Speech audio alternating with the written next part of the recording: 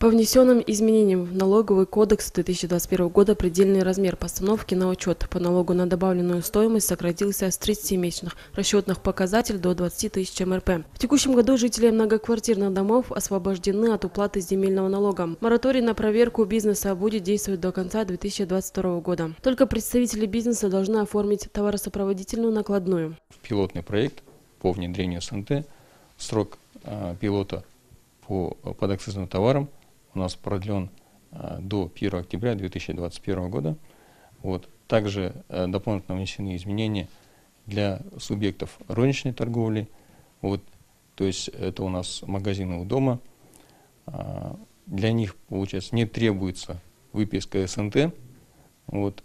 При использовании э, ККМ с онлайн-функцией и выдачей чека, получается, розничные магазины – Э, не обязаны выписывать СНТ.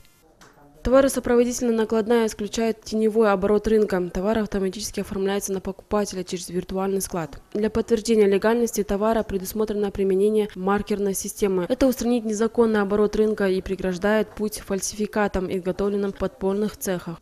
В дальнейшем, получается, вся обувь планируется идти со специальной маркировкой, которая исключит уже э, возможность фальсификации, например, и где-то, получается, реализации поддельных некачественных товаров.